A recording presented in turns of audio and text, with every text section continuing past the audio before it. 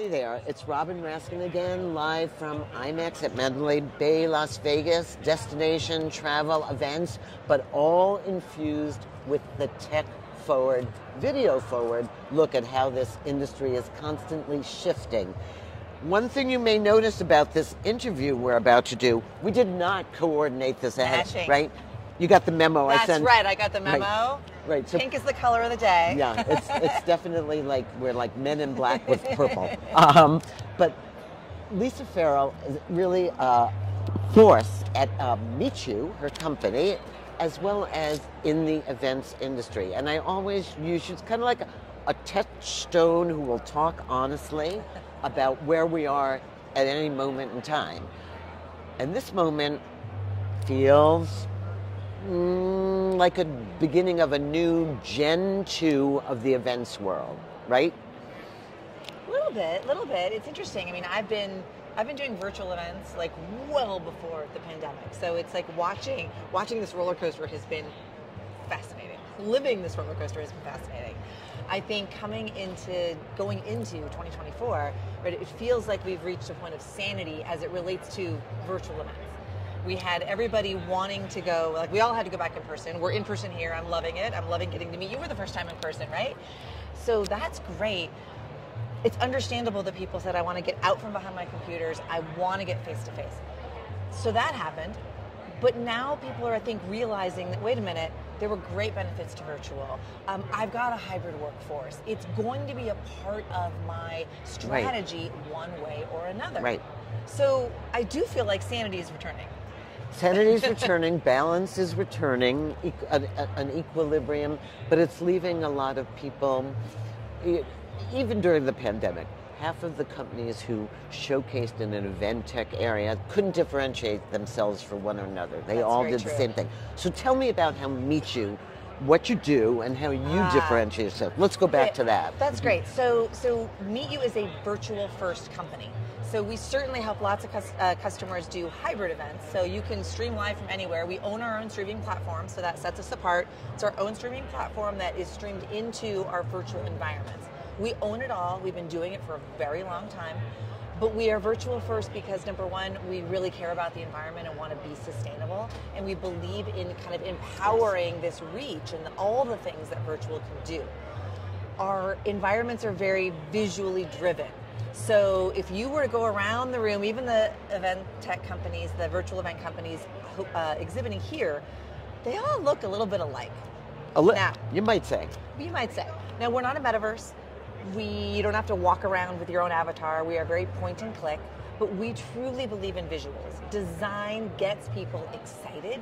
When you enter into a meetyoo event, you know that it's not a web page, something's happening. That's our goal. And we've got a lot of research behind that. So that's I think what sets us apart. And the other thing that I think is important for people to know is we're 100% managed service. So that's the other thing the pandemic did a lot of companies wanted to ride the wave. They launched software and said, buy us, license us, you're going to use us across your, your entire Yeah. enterprise. Not really. If you need to do an event, we work with you and we do all the heavy lifting. So that's what really sets us apart. I mean, we believe in the technology that empowers events, and we're going to help you create amazing events. Yeah, and and I think you're really smart. We know the metaverse, and we know the metaverse is going to work out. You know, it's going to be probably enterprise first, bunch of people designing cars in a collaborative space, but you know, engagement. And we've talked about this through all of the pandemic. How hard it was for people to feel engaged and present Yes. during a virtual event. But you've done a lot to, as you said, with design, with um, to, to really make that feel better. So now, what's next for you guys? Are you is that AI word coming into Well, play? you kind of can't get away from it. Um, our take on AI, right? Everywhere you go, you can read about AI for event planners.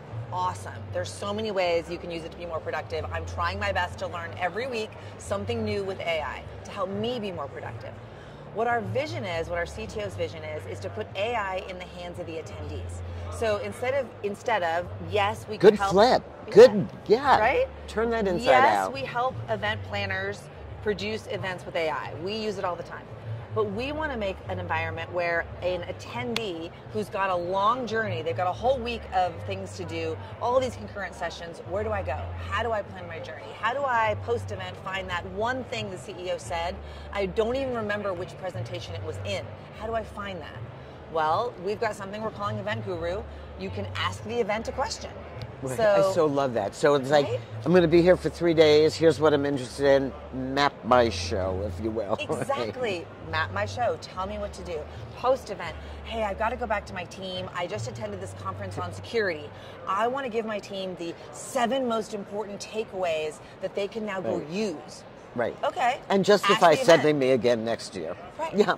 Yeah. Exactly. So there's an ROI element, Yep. and that will be extreme when your show is um, map personalized for you. Yes. I love the idea of flipping it to the attendee because you're seeing a lot of event um, tech companies now saying we're going to know everything about you Right. and we're going to plan your route, but you're Well, flipping it And we are very focused on security and data protection, right? So it's your event. So if you do an event with us, your data goes into your event. People are going to ask your event a question, but we're not going to let them ask another event a question. So we're keeping it very limited so that you don't have to worry that we're going to go off and train another model to make other people's events better. Right. So you are actually training your LLMs your, on, on a specific event. So, so let's say IMEX hires you to That'd be lovely. Yeah. Virtual IMEX. right to do a virtual, but um, it, well, you never say never. but um, but yeah, to, to go through this this time in the show, and it's funny because so many virtual shows, and I'm dealing with this now with the show, have a time element. We want to hit the Emirates, we want to hit Australia, we want to hit Yeah. Europe, we want to hit New York, and like. God hasn't figured out how to like. There's no AI. I keep going. What's the best time? but There's no AI for that. but you can start to play with AI to localize as best you can Yes. what people are interested in. And this one happens to be on sustainability. So, what are the issues in the Emirates versus the US, you know? And start to really drill down into that personalized journey and then map your content Yes. on those hours. Yes. It's mind-boggling. Um, what you, and this is how I think event planners are going to have to start thinking, because we've talked about this before. You're limited. IMEX is a great show. Attendance has grown. Exhibitors have grown, but the big growth is going to be in virtual. Um, the exponential growth in I hope so. I hope so. And again, I think I think again, sanity is returning. It's interesting because you and I were chatting a little bit before, right? Like I look around this event. Um, it's a great event. We are at one end of the hall, the very we end call of the hall. the you must wear purple and black. You must wear purple and black. and then, but the the other, all the content happens at the other end, and in between is amazing Right. destinations. But I think you said right, we're never Yeah. going to meet. So, from my mind, I think this many people here want to talk about virtual because the people here, right, they got in this business to like hug and create these in-person experiences. But here's what's interesting. I was just on the phone before I came in this morning with a very large global company, enterprise, and they said, you know, internal event. They do an event all about security at their company. They learned they want to go back in person, but they were like, gee, you know, we found out during the pandemic that a lot more people came and Yeah. a lot more people participated when we did it virtually. So even for a company talking to their own employees, they're doing that balance of like, Yep. do we get together and hug or do we are we more inclusive because we're going to offer something virtual? And yeah, and they don't have to be at the same time. They They're don't. playing with They don't. temporal stuff. But it is funny. So just to sort of elaborate on this, so you can visit at IMEX, you can visit Malaysia, Singapore, Denver, Super cool. Chicago. You go from destination to destination, but think about the virtual for them too. You know, an event planner does not run around from city to city anymore. They want to meet and and and figure out what you have for them sort of a try before you buy and get to know you and your venue and your team.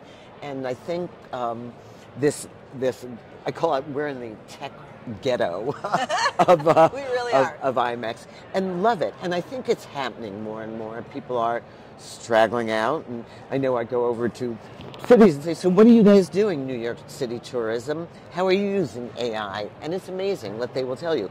How are you thinking about virtual? Um, how are you going to give a virtual tour? And so I think we're getting there. I think that I hope so.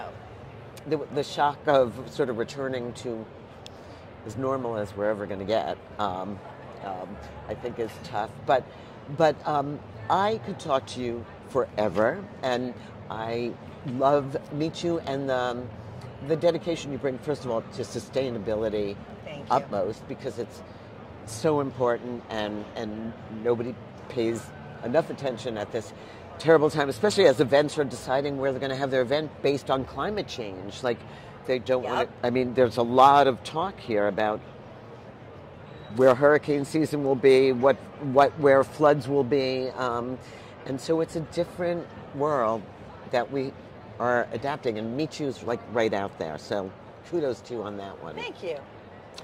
and um, watch us. Come back. We'll check in with you during the year. That sounds great. And thanks for hosting these. These are always fun to do. Okay, next year our color is, um, I, I think chartreuse. We're going chartreuse. That sounds perfect. okay. Thank All you. right.